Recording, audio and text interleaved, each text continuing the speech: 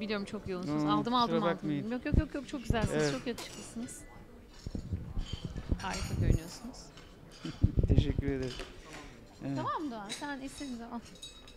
Efendim e, hoş geldiniz. E, Hoş bulduk. 30 Teşekkür Şimdi 31. bu seferdi bu sene Evet, Haziran evet. ayında e, Annual Turk e, ATC'nin Amerikan Türk İş Konseyi'nin e, şu anda konferansındayız ve bir öğle yemeği verildi. İkinci günündeyiz. Çok güzel bir konuşma yaptınız. Teşekkür ederim. Konuşma sırasında ilginç tespitlerde bulundunuz. Sonuna doğru e, ben Suriye, Irak ve benzeri sorunlar üzerinde durmayacağım dediniz. E, bizim evet daha geniş kitlelere seslenmemiz lazım. E, ama dediniz zaten sorunlar konuşuldu. Ben geleceğe yönelik konuşmak istiyorum dediniz.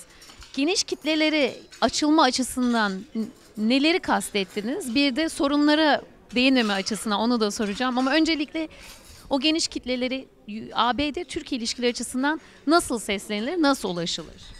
Ee, çok e, güzel bir soru sordunuz. Demek ki konuşmayı dikkatle dinlemişsiniz. Önce e, teşekkür ederim o bakımdan. Çünkü böyle bir e, güzel yemeğin sonunda e, herkesin ilgisini e, muhafaza edebilmek kolay değil. Ama ben bunu kasıtlı yaptım. Dediğiniz doğru konulara e, konularla ilgili pozisyonlarımızı herkes biliyor. Biz zaten sürekli koordinasyon halindeyiz. Bir Suriye konusu olsun, Irak konusu olsun, İran, efendim Pakistan vesaire Afganistan. Ama bizim e, günlük bazda veyahut da bir, bir süreç içerisinde ilişkilerimizi bir yerlere getirmek istiyorsak bu yöntemlere de bakmamız lazım. Yani neyi eksik yapıyoruz?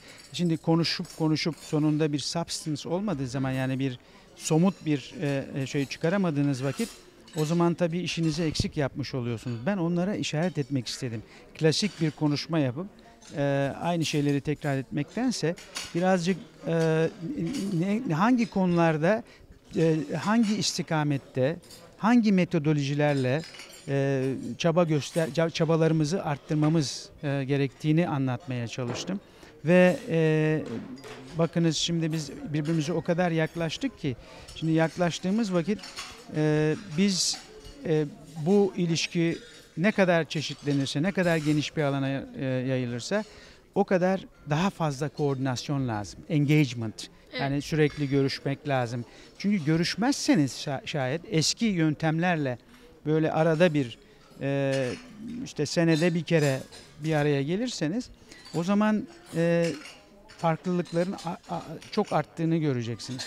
Halbuki e, konular çok büyük, çok dinamik, çok çabuk değişiyor ve sürekli bizim konuşmamız lazım. Sürekli birbirimizle görüşmemiz, koordinasyonu hep muhafaza etmemiz lazım.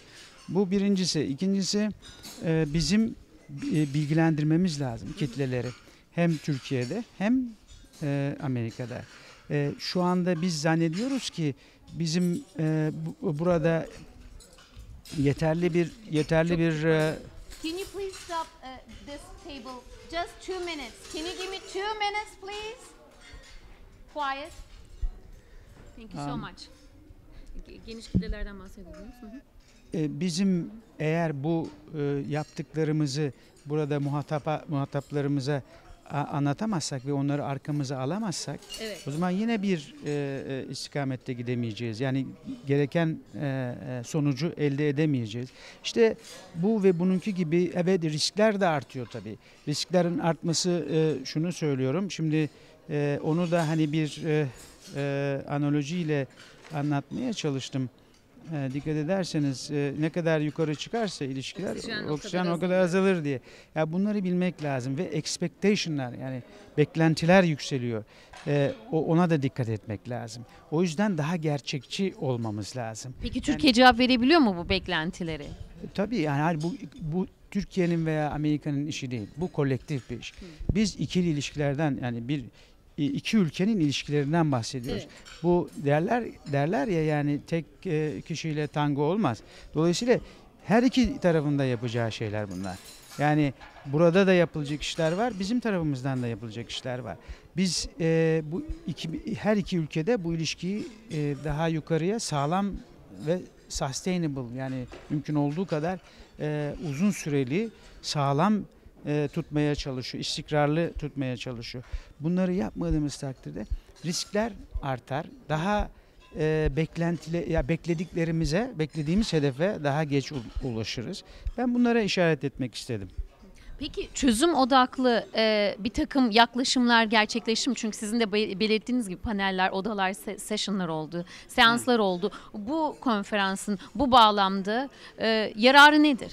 Şimdi e, çok teşekkür ederim. Şimdi bir kere e, bu da gayet güzel bir soru. Evet oldu.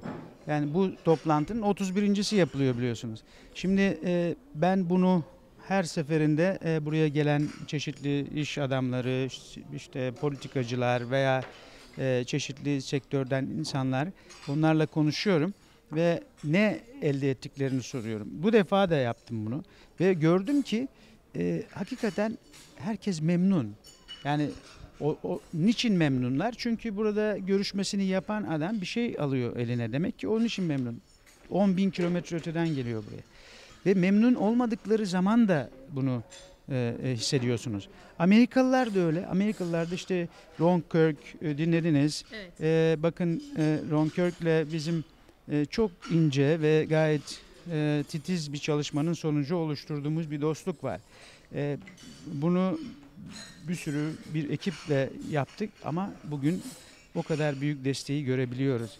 E, Türkiye'de şimdi gittiği zaman buradan daha hiç e, e, kendi yaptıkları çalışmaların haricinde Türkiye'yi gayet iyi biliyor. Çünkü ona daha önceden angaja olduk. Şimdi bunu demek istiyorum. O yüzden e, bu tür toplantılar bu e, insanları e, birbirine hani bir vesileyle yan yana getirip işte o bilgi eksikliğini giderme e, ve beklentileri daha sağlıklı ve gerçekçi tutma bakımından çok önemli rol oynadığına inanıyorum. Evet. E, ve bunun da başarılı geçtiğini düşünüyorum. Çok teşekkür ediyoruz. Sizin eklemek istediğiniz bir şey var mıydı? Çok teşekkür ederim. Sağ olun. Sizin de ilginize çok teşekkür ediyorum. Sağ olun. Tekrar Hoşça kalın, görüşmek bir şerefti. Sağ olun efendim.